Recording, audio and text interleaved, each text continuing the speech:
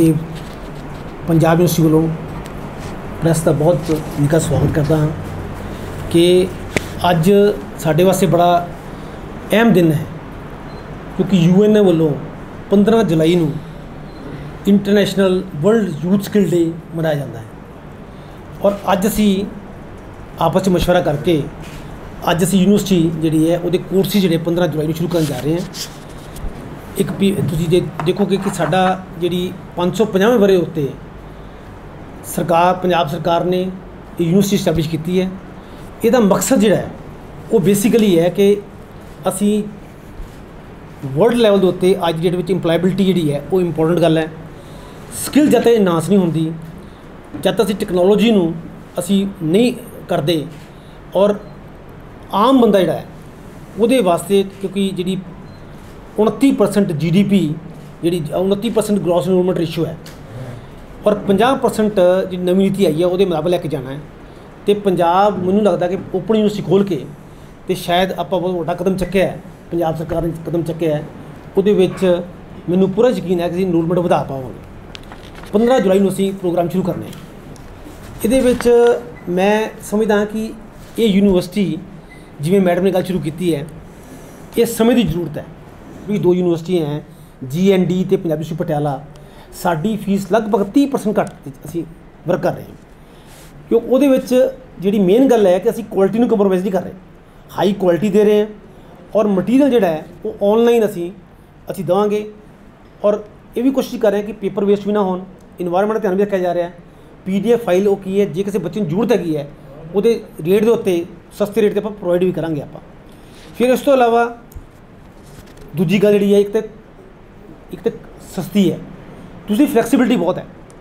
ਬੱਚੇ ਨੇ ਅੱਜ ਕੱਲ ਜਨਰੇਸ਼ਨ ਯੰਗ ਯੂਥ ਜਨਰੇਸ਼ਨ ਜਿਹੜੀ ਹੈ, ਉਹ ਬਿਜ਼ੀ ਬਹੁਤ ਬਾਈ ਚਾਂਸ ਹੈਗੀ ਹੈ। ਰਾਤੀ ਕੋਈ ਕੰਮ ਕਰ ਰਿਹਾ ਹੈ, ਕੋਈ EMPLOYE ਹੈ, ਕਿਤੇ ਯੂਨੀਵਰਸਿਟੀ ਕੰਮ ਉਹਨੇ ਆਪਣੀ ਕੁਆਲੀਫਿਕੇਸ਼ਨ ਵਧਾਣੀ ਹੈ ਆਪਣੀ, ਕੋਈ ਸਕੂਲ ਟੀਚਰ ਹੈ, ਉਹ ਹੋਰ ਅੱਗੇ ਵਧਣਾ ਚਾਹੁੰਦਾ ਵਾ ਇੰਡਸਟਰੀ ਦਾ ਬੰਦਾ ਵਾ, ਉਹਦੇ ਵਾਸਤੇ ਅਸੀਂ ਡਿਫਰੈਂਟ ਕੋਰਸਿਸ ਜਿਹੜੇ ਹੈ, ਉਹ ਫਲੈਕਸੀਬਿਲਟੀ ਟਾਈਮਿੰਗ ਦੀ ਹੈ, ਜਦੋਂ ਮਰਜ਼ੀ ਪੜ੍ਹ ਲਏ, ਜਦੋਂ ਮਰਜ਼ੀ ਕੋਰਸ ਕਰ ਲਏ। ਕੋਈ ਏਜ ਲਿਮਿਟ ਨਹੀਂ ਹੈ। ਔਰ ਐਡਮਿਸ਼ਨ ਜਿਹੜੀ ਹੈ ਪਲੱਸ 2 ਤੋਂ ਬਾਅਦ ਸਰਟੀਫਿਕੇਟ ਕੋਰਸ ਅਸੀਂ ਸ਼ੁਰੂ ਕਰਨੇ ਆ। ਔਰ ਸਭ ਤੋਂ ਵੱਡੀ ਗੱਲ ਇਹ ਹੈ ਕਿ ਫਲੈਕਸੀਬਿਲਟੀ ਹੈ। ਫਲੈਕਸੀਬਿਲਟੀ ਇਨ ਦੀ ਸੈਂਸ ਕਿ ਤੁਸੀਂ ਚੇਂਜ ਕਰ ਸਕਦੇ ਹੋ। ਮੈਂ ਦੋ ਸਬਜੈਕਟ ਪੜ੍ਹੇ ਹੈ। ਪਹਿਲੇ ਯੂਨੀਵਰਸਿਟੀ ਪੰਜਾਬ ਦੀ ਹੈ, ਜਿਹੜੇ ਸਾਰੇ ਕੋਰਸਿਸ ਜਿਹੜੇ ਹੈ, ਉਹ ਚੋਇਸ ਬੇਸ ਕਰਦੇ ਆਪਾਂ। ਕਿ ਉਹਦੀ ਫਲੈਕਸੀਬਿਲਟੀ ਹੈ ਔਰ ਅਸੀਂ ਇਹ ਬ੍ਰਿਜ ਕਰਨ ਦੀ ਕੋਸ਼ਿਸ਼ ਕਰਾਂਗੇ ਆਪਾਂ। ਜਿਵੇਂ ਫੋਰ ਐਗਜ਼ਾਮਪਲ ਆਪਣੇ ਪੰਜਾਬ ਦੇ ਬੱਚੇ ਬਹੁਤ ਬਾਹਰ ਜਾ ਰਹੇ ਆ। ਅਸੀਂ ਕੋਸ਼ਿਸ਼ ਕਰ ਰਹੇ ਹਾਂ ਕਿ ਵਧੀਆ ਕੁਆਲਿਟੀ ਦਿੱਤੀ ਜਾਵੇ। ਇਸ ਤੋਂ ਇਲਾਵਾ ਪੰਜਾਬ ਦੀ ਡਿਗਰੀ ਜਿਹੜੇ ਬੱਚਿਆਂ ਦੀ ਆਲਰੇਡੀ ਡਿਗਰੀ ਹੋ ਚੁੱਕੀ ਹੈ, ਉਹ 3 ਸਾਲ ਦੀ ਡਿਗਰੀ ਹੈ। ਬਾਹਰ ਜਗ੍ਹਾ ਤੇ ਕਿਸੇ ਜਾਣਾ ਉਹ ਤੇ ਡਿਗਰੀ 4 ਸਾਲ ਦੀ ਹੈ।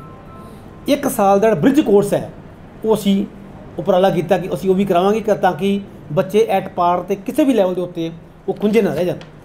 ਫਿਰ ਤੀਜੀ ਗੱਲ ਜਿਹੜੀ ਖਾਸ ਗੱਲ ਹੈ ਵੈਲਿਊ ਐਡੀਸ਼ਨ ਹੈ। ਕਿਉਂਕਿ ਕੱਲਾ ਬੀਏ ਪੜਨ ਦਾ ਬੀਕਾਮ ਕਰਨ ਦਾ ਜਾਂ ਬੀਐਸਸੀ ਕਰਨ ਦਾ ਫਾਇਦਾ ਨਹੀਂ ਹੈ।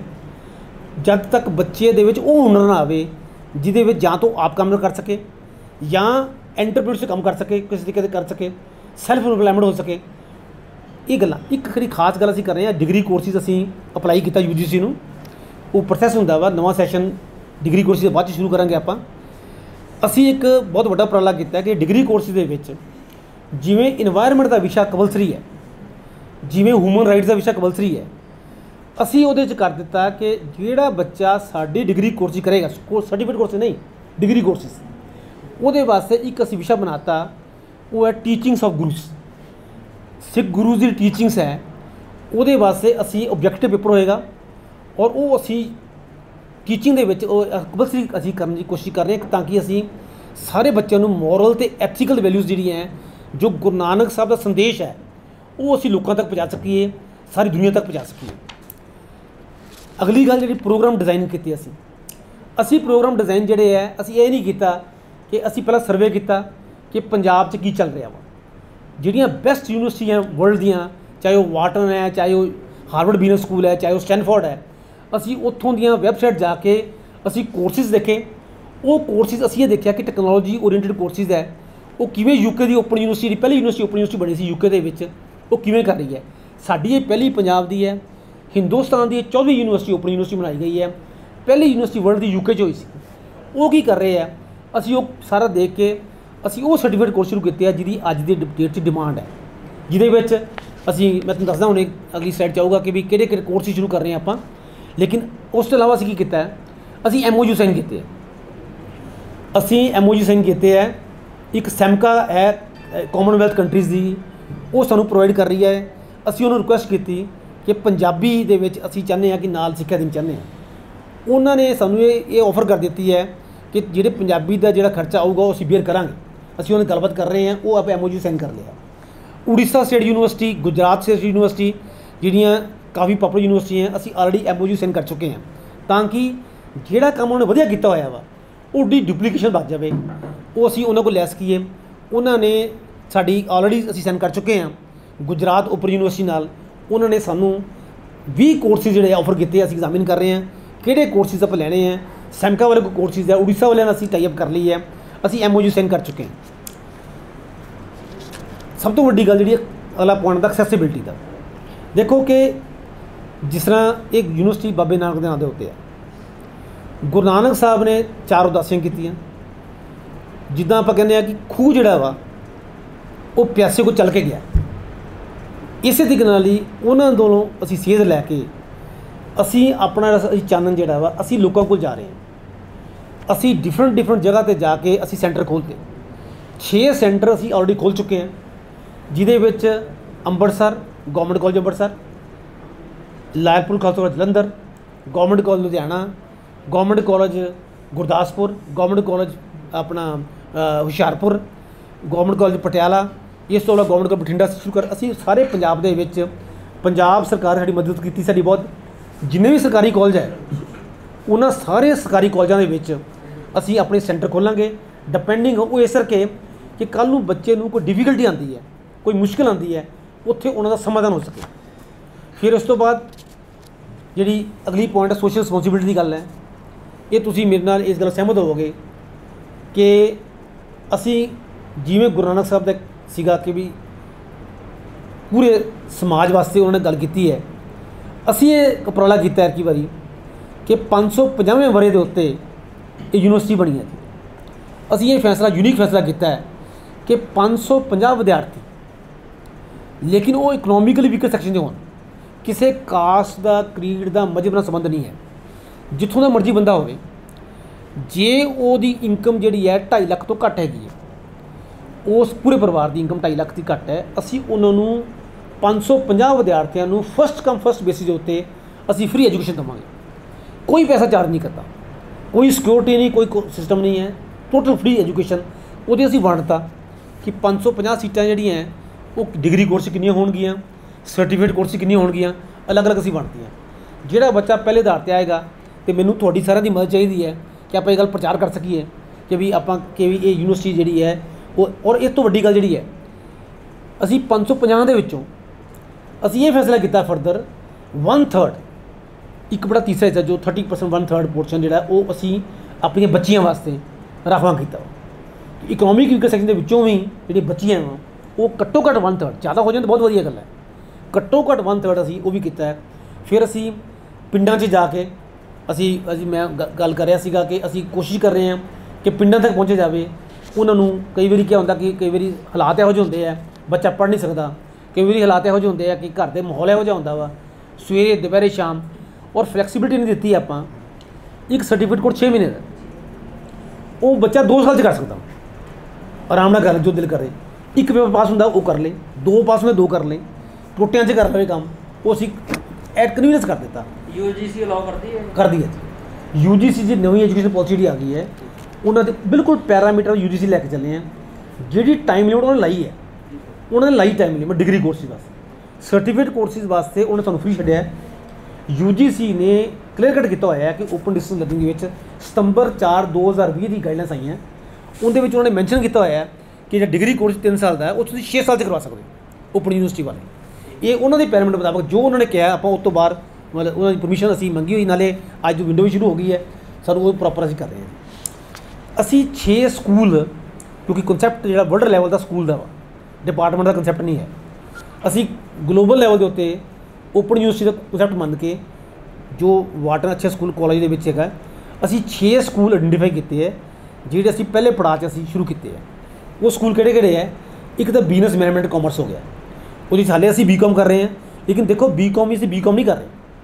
ਬੀਕਾਮ ਵਿੱਚ ਡਿਜੀਟਲ ਕਰ ਰਹੇ ਹਾਂ। ਜਿਹਦੇ ਵਿੱਚ ਡਿਜੀਟਲ ਜਿਹੜੀ ਹੈ, ਉਹਦਾ ਫੋਕਸ ਜ਼ਿਆਦਾ ਹੋਵੇ ਦੂਸਰਾ ਐਜੂਕੇਸ਼ਨ ਵੋਕੇਸ਼ਨ ਹੈ। ਅਸੀਂ ਟ੍ਰੇਨ ਕਰਾਂਗੇ ਸਕੂਲ ਦੇ ਟੀਚਰਾਂ ਨੂੰ ਵੀ। ਜਿਹੜਾ ਸਕੂਲ ਦੇ ਟੀਚਰ ਹੈ ਜੇ ਉਹਨਾਂ ਨੇ ਆਪਣਾ ਕੋਈ ਹੋਰ ਆਪਾਂ ਪੈਡਾਗੋਜੀ ਵਧਾਉਣਾ ਜਾਂ ਆਪਣੀ ਜਿਹੜੀ ਜਿਹੜੀ ਤੁਸੀਂ ਕਹਿ ਲਓ ਕਿ ਉਹਨਾਂ ਦਾ ਡਿਲੀਵਰੀ ਦਾ ਮੈਕੈਨਿਜ਼ਮ ਹੈ ਉਹਨਾਂ ਨੂੰ ਸੈੱਟ ਕਰਨਾ ਵਾ, ਉਹਦੀ ਆਪਾਂ ਕੋਰਸਿਸ ਕਰਾਉਣ ਦੀ ਕੋਸ਼ਿਸ਼ ਕਰ ਰਹੇ ਹਾਂ। ਲੈਂਗੁਏਜ ਦਾ ਸਕੂਲ ਖੋਲ੍ਹਿਆ ਸੀ ਇੱਕ ਅਸੀਂ ਰਿਲੀਜੀਅਸ ਸਟੱਡੀ ਦਾ। ਇਹ ਬੜਾ ਇੰਪੋਰਟੈਂਟ ਹੈ ਕਿ ਅਸੀਂ ਜਿੰਨੇ ਵੀ ਕੰਪੈਰੀਟਿਵ ਰਿਲੀਜਨ ਦੇ ਬਾਰੇ ਸਿੱਖ ਧਰਮ ਬਾਰੇ ਜਿਹੜੀਆਂ ਆਪਣੀ ਮੋਰਲ ਵੈਲਿਊ ਹੈ ਕਿ ਪੰਜਾਬ ਦੇ ਵਿੱਚ ਜਿਹੜੀ ਧਰਤੀ ਉੱਤੇ ਮਤਲਬ ਜਿਹੜੀ ਨੌਲੇਜ ਹੈ, ਉਹਨੂੰ ਅਸੀਂ ਉਸ ਲੈਵਲ ਤੱਕ ਪ੍ਰਚਾਰ ਕਰਨ ਦੀ ਕੋਸ਼ਿਸ਼ ਕਰਾਂਗੇ। ਮੈਂ ਤੁਹਾਨੂੰ ਜਿਵੇਂ ਦੱਸਿਆ ਕਿ ਡਿਗਰੀ ਕੋਰਸਿਸ ਦੇ ਵਿੱਚ ਅਸੀਂ ਕੋਰਸਿਸ ਇੱਕ ਫ੍ਰੀ ਕੀਤਾ ਹੋਇਆ ਹੈ ਟੀਚਿੰਗਸ ਆਫ ਗੁਰੂਸ ਉਹਦੇ ਮਲਟੀਪਲ ਚੁਆਇਸ ਕੁਐਸਚਨ ਬਣਾਵਾਂਗੇ, ਆਪਾਂ ਬਣਾਏ ਹੈ। ਆਲਰੇਡੀ ਮੈਂ ਖੁਦ ਵੀ ਕੰਮ ਕਰ ਰਿਹਾ ਹਾਂ ਉਹ ਤੇ ਕਿਤਾਬ ਲਿਖ ਕੇ ਅਸੀਂ ਪ੍ਰੋਪਰ ਬੱਚਿਆਂ ਨੂੰ ਦੇਵਾਂਗੇ। ਫਿਰ ਸਾਇੰਸਿਸ ਐਂਡ ਐਮਰਜਿੰਗ ਟੈਕਨੋਲੋਜੀ ਬਾਰੇ ਗੱਲ ਕਰ ਰਹੇ ਹਾਂ। ਟੈਕਨੋਲੋਜੀ ਬਾਰੇ ਐਮਰਜਿੰਗ ਟੈਕਨੋਲੋਜੀ ਬਾਰੇ ਜਿਹੜੀਆਂ ਗੱਲਾਂ ਅੱਜ ਦੀ ਡੇਟ ਵਿੱਚ ਡਾਟਾ ਸਾਇੰਸਿਸ ਦਾ ਰੋਲ ਬਹੁਤ ਜ਼ਿਆਦਾ ਹੈ। We want that data science should be promoted ਤੇ ਬੀਐਸਸੀ ਸ਼ੁਰੂ ਕੀਤੀ ਹੈ ਆਪਾਂ ਡਾਟਾ ਸਾਇੰਸਿਸ ਦੇ ਕੀਤੀ ਹੈ ਉਹਦੇ ਵਿੱਚ ਅਸੀਂ ਆਰਟੀਫੀਸ਼ੀਅਲ ਇੰਟੈਲੀਜੈਂਸ ਉਹਦੇ ਵਿੱਚ ਸਾਈਬਰ ਸਿਕਿਉਰਿਟੀ ਵਰਗੇ ਕੋਰਸ ਜਿਹੜੇ ਹੈ ਅਸੀਂ ਲੈ ਕੇ ਆ ਰਹੇ ਹਾਂ ਫਿਰ ਸੋਸ਼ਲ ਸਾਇੰਸ ਲਿਬਰਲ ਆਰਟਸ ਵਿੱਚ, ਉਹ ਅਸੀਂ we are we are starting with that ਅੱਠ ਕੋਰਸਿਸ ਅਸੀਂ ਸ਼ੁਰੂ ਕੀਤੇ ਹੈ ਸਮੇਂ ਨੂੰ ਵੇਖ ਕੇ ਪੂਰਾ ਐਨਾਲਿਸਿਸ ਕੀਤਾ ਹੈ। ਅਸੀਂ ਪੂਰੇ 6 ਮਹੀਨੇ ਲਾਏ। 6 ਮਹੀਨੇ ਅਸੀਂ ਸਟੱਡੀ ਕੀਤੀ ਕਿ ਵਰਲਡ ਲੈਵਲ ਦੇ ਵਿੱਚ ਕਿਹੜੇ ਕੋਰਸ ਚੱਲ ਰਹੇ ਹੈ ਕਿੰਨਾ ਕੋਰਸਿਸ ਦੀ ਇੰਪਲਾਈਬਿਲਟੀ ਹੋ ਸਕਦੀ ਹੈ। ਅਸੀਂ AICTE 'ਚ ਜਾ ਕੇ ਨੈਸ਼ਨਲ ਸਕਿੱਲ ਡਿਵੈਲਪਮੈਂਟ ਤੇ ਜਾ ਕੇ ਜਿਹੜੇ ਕੋਰਸਿਸ ਹੈਗੇ ਹੈ ਜਿਹੜੇ ਅਸੀਂ ਡਿਫਰੈਂਟ ਯੂਨੀਵਰਸਿਟੀ 'ਚ ਕੋਰਸ ਸ਼ੁਰੂ ਕੀਤੇ ਹੈ ਉਹ ਜਾ ਕੇ ਅਸੀਂ ਅੱਠ ਕੋਰਸਿਸ ਜਿਹੜੇ ਸ਼ੁਰੂ ਕਰਨੇ ਆ, ਉਹਦੇ ਵਿੱਚ ਡਿਜੀਟਲ ਮਾਰਕੀਟਿੰਗ ਦਾ ਕੋਰਸ ਹੈ, ਬਹੁਤ ਡਿਮਾਂਡ ਹੈ। ਇਹਦੇ ਵਿੱਚ ਡਿਮਾਂਡ ਇਹੋ ਜਿਹੀ ਹੈ ਕਿ ਬੰਦਾ ਆਪਣਾ ਕੰਮ ਵੀ ਆਪ ਕਰ ਸਕਦਾ। ਡਿਜੀਟਲ ਮਾਰਕੀਟਿੰਗ ਹੈ ਰੂਰਲ ਮੈਨੇਜਮੈਂਟ ਦੇਖੋ management is something very important ਮੇਰਾ ਆਪਣਾ ਏਰੀਆ ਮੈਨੇਜਮੈਂਟ ਹੈ। ਸਾਨੂੰ ਮੈਨੇਜਮੈਂਟ ਦੀ ਬਹੁਤ ਜ਼ਿਆਦਾ ਜ਼ਰੂਰਤ ਪੈਂਦੀ ਹੈ ਕਿ ਅਸੀਂ ਮੈਨੇਜ ਕਿਵੇਂ ਕਰੀਏ। ਰੂਰਲ ਮੈਨੇਜਮੈਂਟ ਦੇ ਡਿਫਰੈਂਟ ਆਸਪੈਕਟ ਲੈ ਕੇ ਅਸੀਂ ਕੋਰਸ ਸ਼ੁਰੂ ਕੀਤੇ ਹੈ ਤੇ creativity and innovation in school education ਬੜੀ ਖੁਸ਼ੀ ਦੀ ਗੱਲ ਹੈ ਕਿ ਪੰਜਾਬ ਜਿਹੜਾ ਵਾ ਨੰਬਰ 1 ਤੇ ਆਇਆ ਸਕੂਲ ਐਜੂਕੇਸ਼ਨ ਦੇ ਵਿੱਚ। ਅਸੀਂ ਉਹਨਾਂ ਨੂੰ ਹੋਰ ਉਸ ਪੋਜੀਸ਼ਨ ਨੂੰ ਮੇਨਟੇਨ ਕਰਨ ਵਾਸਤੇ ਕ੍ਰੀਏਟੀਵਿਟੀ ਐਂਡ ਇਨੋਵੇਸ਼ਨ ਇਨਕਲੂਡ ਕਰਾਂਗੇ ਇਨ ਦਾ ਇਨ ਦਾ ਸਕੂਲ ਐਜੂਕੇਸ਼ਨ ਫਿਰ ਸਭ ਤੋਂ ਵੱਡੀ ਗੱਲ ਜਿਹੜੀ ਹੈ, ਅੱਜ ਦੇ ਦਿਨ ਵਿੱਚ ਜਦੋਂ ਤੁਸੀਂ ਆਪਣੀਆਂ ਭਾਵਨਾਵਾਂ ਜਾਂ ਆਪਣੀ ਗੱਲ ਜਿਹੜੀ ਹੈ ਲੋਕਾਂ ਕੋਲ ਕਰ ਸਕੋ, ਉਹਦੇ ਵਾਸਤੇ ਕਮਿਊਨੀਕੇਸ਼ਨ ਹੋਣਾ ਬਹੁਤ ਜ਼ਰੂਰੀ ਹੈ। ਔਰ ਅਸੀਂ ਉਹਦੇ ਵਾਸਤੇ ਇੱਕ effective business and social communication ਜਿਹੜੀ ਹੈ ਉਹਦਾ ਕੋਰਸ ਸ਼ੁਰੂ ਕੀਤਾ। ਹੈ ਦੈਨ ਹੈਪੀਨੈਸ। ਮੈਨੂੰ ਇਹ ਗੱਲ ਦੱਸ ਕੇ ਬੜੀ ਖੁਸ਼ੀ ਹੋ ਰਹੀ ਹੈ ਕਿ ਗੁਰੂ ਨਾਨਕ ਸਾਹਿਬ ਜੀ ਦਾ ਜਿਹੜਾ ਉਹਨਾਂ ਦੀ ਸਿੱਖਿਆ ਉਹ ਸਿੱਖਿਆ ਆਪਣੇ ਹਾਰਵਰਡ ਯੂਨੀਵਰਸਿਟੀ ਨੇ। 75 ਸਾਲ ਦੀ ਰਿਸਰਚ ਕਰਨ ਤੋਂ ਬਾਅਦ ਇੱਕ ਕੋਰਸ ਸ਼ੁਰੂ ਕੀਤਾ ਹੈਪੀਨੈਸ ਦੇ ਉੱਪਰ। ਖੁਸ਼ ਕਿਵੇਂ ਰਹੀਏ ਆਪਾਂ? ਜ਼ਿੰਦਗੀ ਨੂੰ ਬੈਲੈਂਸ ਕਰੀਏ। ਗੱਲਾਂ ਉਹੀ ਹੈ, ਉਹਨਾਂ ਨੇ ਨਾਂ ਚੇਂਜ ਕਰ ਦਿੱਤੇ। ਉਹਨਾਂ ਨੇ ਕਰਤਾ ਮੈਡੀਟੇਸ਼ਨ ਦੀ ਗੱਲ ਕਰਤੀ, ਆਪਣਾ ਨਾਮ ਜਪੋ ਦੀ ਗੱਲ ਕਰਦੇ। ਆ ਉਹਨਾਂ ਨੇ ਐਕਟ ਆਫ ਗਿਵਨੈਸ ਦੀ ਗੱਲ ਕਰ ਦਿੱਤੀ। ਅਸੀਂ ਉਹ ਵੰਡ ਛਕੋ ਦੀ ਗੱਲ ਕਰਦੇ ਹਾਂ। ਜਿਹੜੇ ਗੁਰੂ ਨਾਨਕ ਸਾਹਿਬ ਦੇ ਕਨਸੈਪਟ ਹੈ, ਗੁਰੂ ਗ੍ਰੰਥ ਸਾਹਿਬ ਦੇ ਸਾਰੇ ਕਨਸੈਪਟ ਜਿਹੜੇ ਹੈ, ਉਹ ਲੈ ਕੇ ਉਹਨਾਂ ਨੇ ਕੋਰਸ ਸ਼ੁਰੂ ਕੀਤਾ ਅਸੀਂ ਵੀ ਹੈਪੀਨੈਸ ਦੇ ਉੱਤੇ ਅਸੀਂ ਇਹ ਕੋਰਸ ਸ਼ੁਰੂ ਕਰਨ ਜਾ ਰਹੇ ਹਾਂ। ਇੱਕ value learning of Sikhism Sikhism ਦੇ ਉੱਤੇ ਮੇਰਾ, ਕਿ ਮੈਨੂੰ ਲੱਗਦਾ ਕਿ ਵੀ ਆਪਣਾ ਪ੍ਰੋਪਰ ਤਰੀਕੇ ਨਾਲ ਪ੍ਰਚਾਰ ਨਹੀਂ ਹੋ ਪਾਇਆ। ਅਸੀਂ ਇਹਦੇ ਤੇ ਆਪਾਂ ਕੋਸ਼ਿਸ਼ ਕਰਨ ਦੀ ਕੋਸ਼ਿਸ਼ ਕਰਾਂਗੇ। ਦੈਨ ਦੋ ਸਾਇੰਸ ਦੇ ਕੋਰਸ ਬੜੇ ਇੰਪੋਰਟੈਂਟ ਹੈ। One is cyber security other is artificial intelligence and its application ਇਹ ਬੜੇ ਅਸੀਂ ਗਰਾਊਂਡ ਲੈਵਲ ਦੇ ਉੱਤੇ ਅਸੀਂ ਜਿਹੜੇ ਬੈਸਟ ਯੂਨੀਵਰਸਿਟੀਜ਼ ਹੈਗੀਆਂ ਈਵਨ ਥਾਪੜ ਵਾਲਿਆਂ ਨੇ ਟਾਈ ਅਪ ਕੀਤਾ ਫੋਰਨ ਕੰਟਰੀ ਵਾਲੇ ਨਾਲ, ਅਸੀਂ ਉਹਨਾਂ ਨਾਲ ਮਿਲ ਕੇ ਅਸੀਂ ਇੱਕ ਆਰਟੀਫੀਸ਼ੀਅਲ ਇੰਟੈਲੀਜੈਂਸ ਦਾ ਕੋਰਸ ਸ਼ੁਰੂ ਕੀਤਾ ਹੈ ਜਿਸ ਵਿੱਚ ਆਮ ਬੰਦਾ ਪਲੱਸ 2 ਤੋਂ ਬਾਅਦ ਉਹਨੂੰ ਬੇਸਿਕ ਆਈਡੀਆ ਲੱਗ ਜਾਵੇ ਤਾਂ ਕਿ ਉਹਦਾ ਇੰਟਰਸਟ ਬਣ ਜਾਵੇ ਕਿ ਇਹ ਕੋਰਸਿਸ ਡਾਟਾ ਸਾਇੰਸ ਦੇ ਕਰਨੇ ਜ਼ਰੂਰੀ ਹੈ ਤੇ ਉਹ ਬੱਚਾ ਜਿਹੜਾ ਬੀਐਸਸੀ ਚ ਕਰ ਸਕੇ। ਔਰ ਨਾਲ ਇਹ ਇਹ ਕਿੰਨੇ ਕਰਨੇ ਹੈ? ਇਹ ਕੋਰਸਿਸ ਜਿਹੜੇ ਸਰਟੀਫਿਕੇਟ ਕੋਰਸਿਸ ਹੈ ਪਲੱਸ 2 ਤੋਂ ਜ਼ਰੂਰੀ ਨਹੀਂ ਹੈ। ਪਲੱਸ 2 ਤੋਂ ਬਾਅਦ ਈਵਨ ਬੀਏ ਵਾਲੇ ਵੀ ਐਮਏ ਵਾਲੇ ਵੀ, ਕੋਈ ਬੰਦਾ ਵੀ ਇਸ ਕੋਰਸ ਨੂੰ ਕਰ ਸਕਦਾ ਵਾ। ਤਿੰਨ ਡਿਗਰੀ ਕੋਰਸ ਸ਼ੁਰੂ ਕਰਨੇ ਆਪਾਂ। ਤਿੰਨੋਂ ਕੋਰਸਿਸ ਦਾ ਲਿੰਕ ਜਿਹੜਾ ਹੈ, ਉਹ ਡਿਜੀਟਲ ਨਾਲ ਹੈ। ਬੀਕਾਮ ਦਾ ਵੀ ਡਾਟਾ ਸਾਇੰਸਿਸ ਦਾ ਵੀ ਸਾਇੰਸ ਦਾ ਵੀ ਲਿਬਰਲ ਆਰਟਸ ਦਾ ਵੀ। ਔਰ ਇੱਕ ਅਸੀਂ ਪੀਜੀ ਡਿਪਲੋਮਾ ਕੋਰਸ ਸ਼ੁਰੂ ਕੀਤਾ ਹੈ ਸਿੱਖ ਥਿਓਲੋਜੀ ਦੇ ਉੱਤੇ। ਇਹ ਕਰਾਂਗੇ। ਇਹਦੇ ਵਾਸਤੇ ਅਸੀਂ ਪਰਮਿਸ਼ਨ ਜਿਹੜੀ ਹੈ ਯੂਜੀਸੀ ਤੋਂ ਮੰਗੀ ਹੋਈ ਹੈ। ਤੇ ਬਹੁਤ ਜਲਦੀ ਹੈ, ਸਾਨੂੰ ਪਰਮਿਸ਼ਨ ਜਿਹੜੀ ਹੈ, ਉਹ ਅੱਜ ਉਹਨਾਂ ਨੇ ਵਿੰਡੋ ਖੋਲ੍ਹੀ ਹੈ। 30 ਤੱਕ ਉਹਨਾਂ ਨੇ ਐਪਲੀਕੇਸ਼ਨ ਵਾਈਡ ਕੀਤੀ ਹੈ। ਇਹ ਪ੍ਰੋਸੀਜਰ ਹੁੰਦਾ। ਤੇ ਅਸੀਂ ਮੋਸਟ ਪ੍ਰੋਬਬਲੀ ਡਿਗਰੀ ਕੋਰਸ ਜਿਹੜੇ ਹੈ ਉਹ ਉਹਨਾਂ ਕੋਲ ਪਰਮਿਸ਼ਨ ਲੈਣ ਤੋਂ ਬਾਅਦ we will start with that ਇਹ ਥੋੜਾ ਜਿਹਾ ਆਪਣੀ ਯੂਨੀਵਰਸਿਟੀ ਬਾਰੇ ਮੈਂ ਜਾਣਨਾ ਪਾਉਣਾ ਸੀਗਾ ਤੇ ਕਿ ਅਸੀਂ ਇਹ 15 ਮੈਨੂੰ ਦੇ ਆਪਾਂ ਕੋਈ ਗੱਲਬਾਤ ਕਰ ਜਗਤ ਗੁਰੂ ਨਾਨਕ ਪੰਜਾਬ ਸ਼ੇਡੂ ਯੂਨੀਵਰਸਿਟੀ ਅੱਜ ਕੋਰਸਸ ਓਪਨ ਕਰ ਰਹੇ ਹੋ। ਕੀ ਕਹਿਣਾ ਚਾਹੁੰਦੇ ਹੋ? ਅ, ਜਗਤ ਗੁਰੂ ਨਾਨਕ ਦੇ Punjab state open university Punjab ਦੀ ਪਹਿਲੀ ਓਪਨ ਯੂਨੀਵਰਸਿਟੀ ਹੈ ਔਰ ਹਿੰਦੁਸਤਾਨ ਦੀ 14ਵੀਂ ਇਹ ਓਪਨ ਯੂਨੀਵਰਸਿਟੀ ਹੈ। ਇਹ ਉਹ ਯੂਨੀਵਰਸਿਟੀ ਜਿਹੜੀ ਹੈ, ਇਹਦੇ ਵਿੱਚ ਅਸੀਂ ਉਪਰਾਲਾ ਕਰ ਰਹੇ ਹਾਂ ਕਿ ਓਪਨ ਡਿਸਟੈਂਸ ਲਰਨਿੰਗ ਦੇ ਵਿੱਚ ਬੱਚਿਆਂ ਨੂੰ ਅਸੀਂ ਐਡਮਿਸ਼ਨ ਦੇਵਾਂਗੇ ਔਰ ਬੱਚਿਆਂ ਨੂੰ ਇਕਨੋਮਿਕਲ ਜਿਹੜੀ ਹੈ, ਕਿਫਾਇਤੀ ਤੌਰ ਦੇ ਉੱਤੇ ਸਭ ਤੋਂ ਘੱਟ ਕੀਮਤ ਦੇ ਉੱਤੇ ਕੁਆਲਿਟੀ ਐਜੂਕੇਸ਼ਨ ਜਿਹੜੀ ਹੈ, ਉਹ ਪ੍ਰੋਵਾਈਡ ਕੀਤੀ ਜਾਏਗੀ। ਔਰ ਮੈਂ ਇੱਥੇ ਦੋ ਗੱਲਾਂ ਦੱਸਣਾ ਚਾਹੁੰਦਾ ਹਾਂ ਇੱਕ ਗੱਲ ਇਹ ਹੈ ਕਿ ਕਿਉਂਕਿ ਪੰਜਾਬ ਸਰਕਾਰ ਨੇ 550ਵੇਂ ਸ਼ਤਾਬਦੀ ਉੱਤੇ, ਗੁਰਾਂ ਸਾਹਿਬ ਦੇ ਉੱਤੇ ਸ਼ੁਰੂ ਕੀਤੀ ਹੈ ਇਹ ਯੂਨੀਵਰਸਿਟੀ। ਅਸੀਂ ਇਹ ਉਪਰਾਲਾ ਕੀਤਾ ਹੈ ਕਿ 550 ਵਿਦਿਆਰਥੀਆਂ ਨੂੰ ਅਸੀਂ ਫ੍ਰੀ ਐਜੂਕੇਸ਼ਨ ਦੇਵਾਂਗੇ ਔਰ ਉਹਦੇ ਵਿੱਚੋਂ ਵੀ 1/3 ਜਿਹੜੇ ਇੱਕ ਬੜਾ ਤੀਸਰਾ ਹਿੱਸਾ ਜਿਹੜਾ ਵਾ, ਉਹ ਅਸੀਂ ਆਪਣੀਆਂ ਬੱਚੀਆਂ ਨੂੰ ਫ੍ਰੀ ਸਿੱਖਿਆ ਦੇਣ ਦੀ ਕ- ਕਰਾਂਗੇ।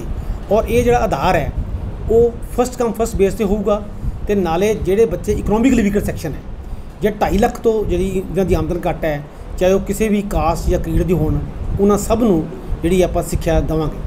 ਔਰ ਜਿਹੜੀ ਮੈਂ ਗੱਲ ਇੱਥੇ ਕਰਨੀ ਚਾਹੁੰਦਾ ਵਾਂ ਕਿ ਓਪਨ ਯੂਨੀਵਰਸਿਟੀ ਜਿਹੜੀ ਹੈ, ਉਹਦੇ ਨਾਲ ਪੰਜਾਬ ਦੇ ਪਿੰਡਾਂ ਪਿੰਡਾਂ ਤੱਕ ਹਰ ਬੱਚੇ ਨੂੰ ਸਾਡਾ ਸੁਪਨਾ ਹੈ ਕਿ ਹਰੇਕ ਬੱਚੇ ਨੂੰ ਅਸੀਂ ਉੱਚ ਕੇ ਦੇ ਸਕੀਏ ਔਰ ਜਿਹੜੇ ਕੋਰਸਿਸ ਸ਼ੁਰੂ ਕੀਤੇ ਅਸੀਂ ਪ੍ਰੋਗਰਾਮ ਅਸੀਂ ਪੂਰੇ ਵਰਲਡ ਦੀਆਂ ਟੌਪ ਯੂਨੀਵਰਸਿਟੀਆਂ ਦੇ ਕੋਰਸਿਸ ਨੂੰ ਐਨਾਲਾਈਜ਼ ਕੀਤਾ।